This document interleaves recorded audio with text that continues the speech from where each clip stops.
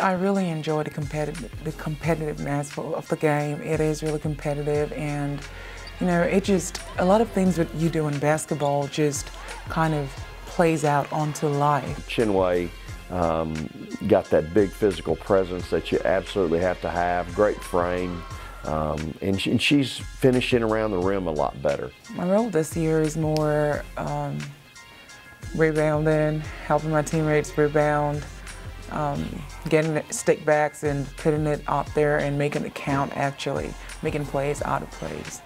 Well, this year's much as every other past year, we're ready to play. Well, we've been always ready to play. We're excited about this year, and just for the fact that we have so much talent on the team, we have well, we have great team chemistry as we're working on it because you cannot have enough of that, and so we're working on that, and you know, like it's going to be exciting. Like we are hungry to play.